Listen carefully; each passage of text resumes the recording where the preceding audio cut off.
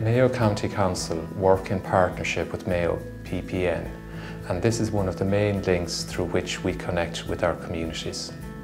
We have over 1,000 community groups registered with Mayo PPN. Mayo community groups are doing some excellent work to help protect our environment. I'm delighted that Mayo PPN is using the opportunity of Mayo Goes Green to showcase examples of the work that they have been carrying out and efforts being made by community groups throughout the county in the run-up to St Patrick's Day. And I want to commend all the community groups for the work that they have done.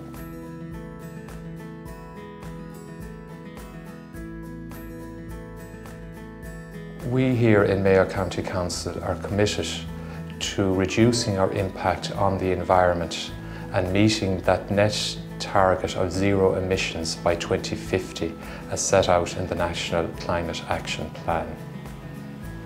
We will continue to help and support community groups to address the climate and biodiversity challenge and to assist these groups in undertaking projects which contribute to the overall protection of the environment.